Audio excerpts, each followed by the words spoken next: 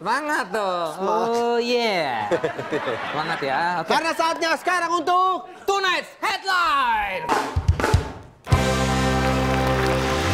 Baiklah, berita pertama. Seorang pria menyamar menjadi masinis gadungan untuk memikat wanita. Seorang pria bernama Hamdani ditangkap setelah menyamar eh, menjadi... masinis. Mm-mm. Oh, jadi ini orang menyamar doang jadi masinis. Ya. Karena dia pikir dengan menjadi masinis dia bisa menaklukkan hati seorang wanita. Nah, itu dia. Wah. Untuk memikat wanita. Nah, pakai seragam masinis itu kan memang kelihatan lebih berwibawa gitu loh. Kayaknya lebih untuk melakukan wanita tuh kayak lebih mudah gitu loh.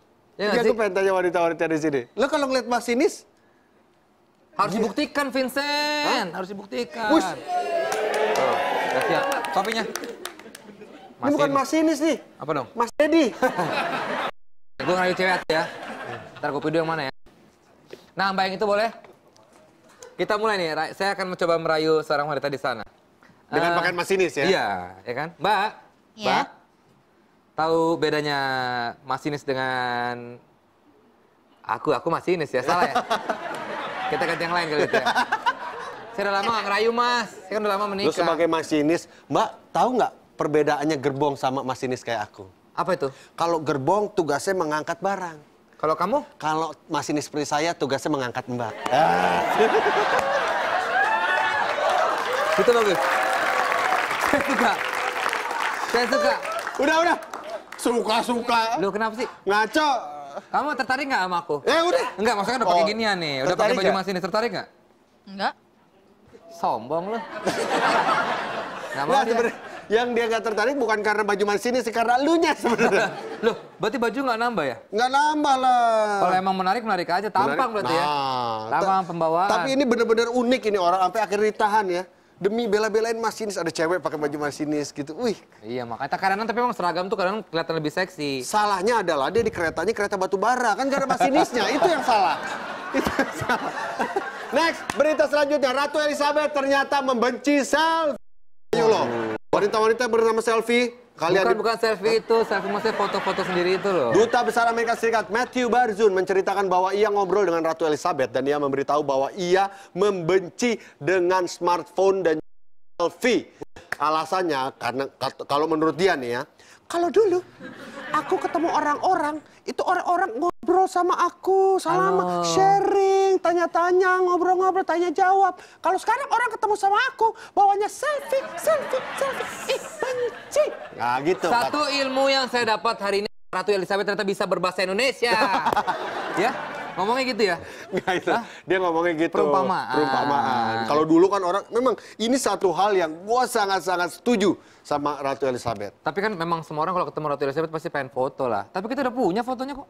Oh, kita, oh iya, iya. Kita pernah selfie bareng Ratu Elizabeth. juga pernah selfie Fotonya udah di-upload ya. Sorry, saya kita udah pernah foto. Ada Coba. di handphone gue. Tapi udah dipindahin Udah di dikasih? Oh udah. Oh, ini kasih foto aja. ini. Tuh. Tuh kan, ini yang pertama tuh. Wih, ini sedekat itu loh kita dengan Queen Elizabeth. Iya. Tuh lama. lihat tuh. Kita dia lagi jalan aja ada kita, di Kita sampingnya bisa mau selfie. Orang-orang dipagerin, kita di sampingnya, Bro. Temen kok ini, temen gue.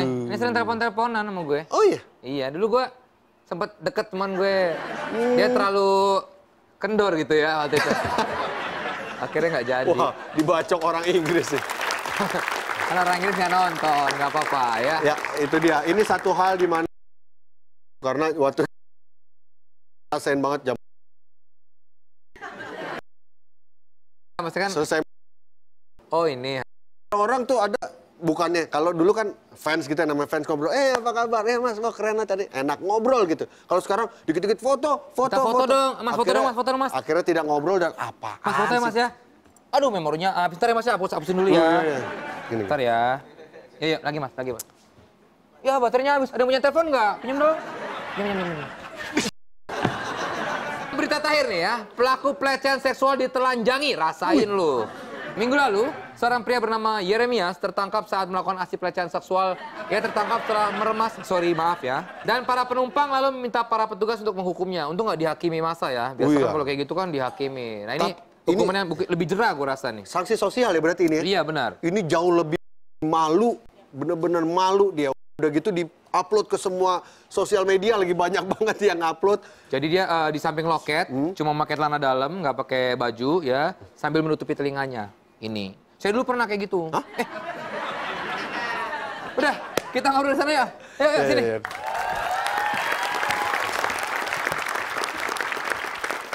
Nanya dong, boleh nanya nggak sama teman-teman penonton yang di studio ini jujur pernah merasakan yang namanya pelecehan seksual nggak? Berasa, biasanya ini cewek-cewek yang sering. Pernah nggak? Pernah ya? Apa apa nggak berani mengemukakannya? Mohon maaf loh, pelecehan seksual bukan hanya dengan eh, kontak fisik, Dengan verbal juga pun bisa. Pernah? Saya yakin pernah namanya wanita itu kadang-kadang pria itu tanpa sadar. Iya, saya nggak sadar bener tanpa sadar loh kayak tanpa gitu. sadar Iya, iya, dan iya. dan akhir-akhir ini sering banget di eh, Transjakarta sering kejadian. Kurang afdol kalau kita ngomongin pelecehan seksual hanya dari sisi eh, laki-laki saja. Kita undang seorang wanita cantik. Wah, Cantik wah, ini, cantik, nih benar. Ini Ya. bahaya ini. Saya bahaya terjadi pelecehan seksual oleh Desta malah ini. Eh, sama-sama kali kalau mau kalau mau lagi. Ini dia Desi Desi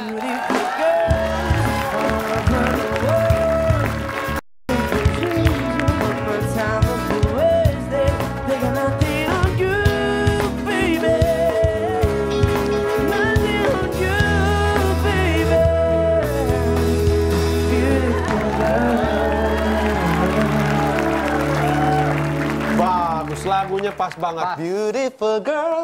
Yang datang juga beautiful girl. Ah, Terima kasih. Desi Bowman.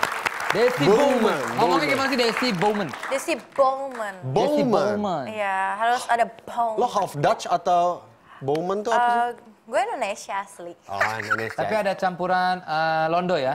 Londo, papa he Londo. Tapi Mama he bisa ngomong cowok ya kok ya. Iso, aku kan mau Jawa. Lahir Jogjo. Jawa. Oh, Iya, Lahir. Jogjo.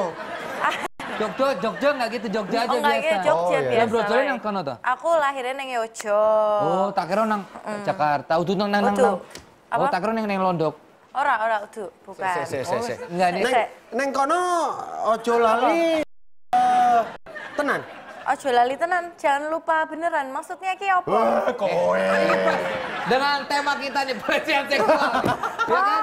Pantesan Ya. ya menjurus Nggak, ini kita lagi menjurus. ngomongin eh, mengenai pelecehan seksual yang kerap terjadi, ya kan? Desi Bowman sendiri pernah mengalami pelecehan nggak? Secara Aduh. verbal maupun secara nominal? Secara nominal tuh gimana? Secara, Secara verbal Fisik, atau fisik. Fisik ya.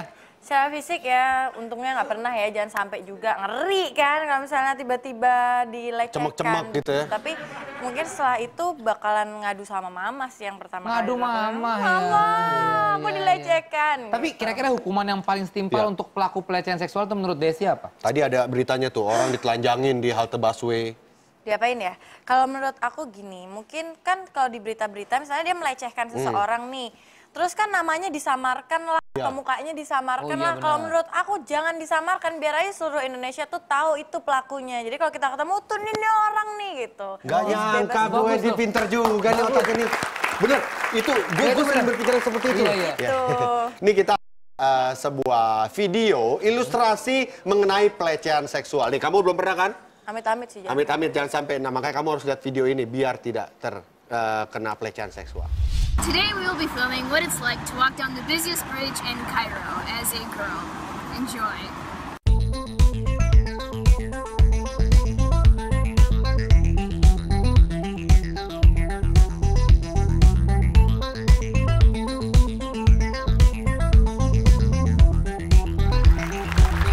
Lihat di video tadi itu ya, mata-mata cowok itu melihat perempuan seperti layaknya objek aja gitu. Iya. Jadi Mesir itu merupakan tadi itu di Mesir ya. Di Mesir. Itu Mesir adalah sebuah negara dengan pelecehan seksual yang paling besar. Wow. Nah, tadi yang bilang bahwa pria-pria itu memandang wanita seakan-akan mereka hanyalah sebuah objek. Jadi tadi video tadi dibuat di Mesir oleh uh, dua orang wanita ya, dua Hmm. orang wanita Mesir untuk membuktikan dan menunjukkan bagaimana pria-pria di sana melihat wanita itu hanya adalah sebuah objek. Ya. Des, tolong bantu kita dan juga informasikan kepada penonton-penonton di rumah. Desi punya tips bagaimana menghindari sebuah pelecehan seksual. Silakan, Des.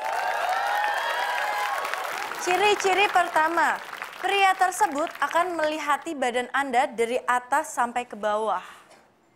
Melihat dari atas sampai ke bawah, atas bawah, atas bawah. Nah, yang kedua, dia akan melakukan gerakan yang menunjukkan bahwa ia sudah menemukan mangsanya dengan mulut mereka. Gue juga ngerti mulut mereka tuh gimana coba. Oh gitu. Mungkin gini kali ya. Nah, iya, nah persis begitu. Iya, iya, iya, iya. Nah, yang ketiga, mereka akan memainkan mata mereka ke arah korban untuk membuat mereka merasa tidak nyaman. Wah, tuh bahaya banget tuh. Sa, bener. Nah, terus Eh, kenapa jadi lihat-lihatan. Bahaya banget. Eh, eh, eh, itu.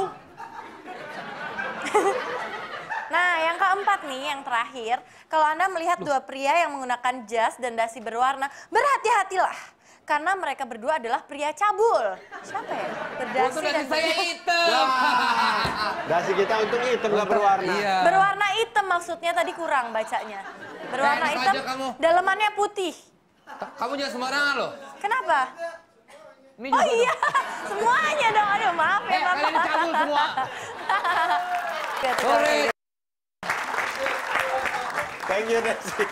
sore kita Waduh, jangan Cabul dong. banget. Aduh. Des, ka- kalau kamu uh, Boleh duduk lagi nih? Boleh, silakan duduk Ya, lagi. Ada ada ada dari kamu sendiri ada nggak tips yang bisa kamu share untuk menghindari Eh, percabulan. Oh, mungkin kayak sesimpelnya, ada, segampangnya adalah usahakan pakai baju tertutup di Oh tempat iya, umum itu seperti harus. itu kan. jangan ketat-ketat. Hmm. Eh, kok diliatin segala? Aduh, jangan sialan. ketat-ketat, gue rada gimana ya, bajunya nggak ketat. Kamu ada tips lain? Tapi apa ya, nih ya, Jadi ngomongin cerita sedikit soal pengalaman. Sebenarnya gue pernah dulu mengalami pelecehan seksual, tapi mungkin gue sharing banyak karena ntar jadi gimana-gimana orang mikirnya. Cuman gue pernah ngalamin itu, dan itu bener-bener bikin trauma.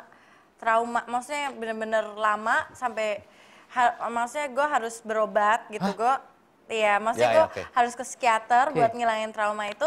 Tapi puji Tuhan sekarang gue udah sembuh dan gue bener-bener nutup gitu. Gue nggak mau inget-inget lagi, Iya, gue nggak mau peduli lagi dan gue anggap itu nggak pernah kejadian gitu. Jadi tips buat para sahabat yang ada di rumah. Cie. Selain yang tadi sudah disebutkan itu ciri-cirinya. Eh, jangan pakai baju ketat atau apa. Jangan gampang percaya sama orang gitu. Karena kadang kita pikir orang ini tuh baik, orang ini tuh sayang sama kita. Padahal belum tentu loh. Siapa tahu mereka punya niat jahat sama kalian. Jadi buat cewek-cewek di luar sana terutama ya harus berhati-hati. Karena cowok-cowok zaman sekarang itu bahaya. Wah, lirikannya. Wasdapalah, wasdapalah. Waspadalah ya. Terima kasih Desi Bowman Desi, ya. Ah, sama-sama. Udah sukses nih. Sudah. Wah, cepet banget. Oke, Iya oke. dong. Tapi gue masih pengen di sini. Gimana dong? Gue baru pesen batagor tadi di depan. Oke, nan- nanti kita ke tirai itu Iya, ya. ngapain? Ngobrol aja cicet, Oh, iya, iya. santai. Terima kasih sukses selalu dan Iya. semoga terhindar dari segala macam pelecehan seksual. Abis ini kita akan balik lagi tetap di Tonight Show. Eh, mobil di depan yang gede itu punya gue loh. Iya kan? Iya benar. Kan lu mau kasih ke gue katanya. Iya 不能不能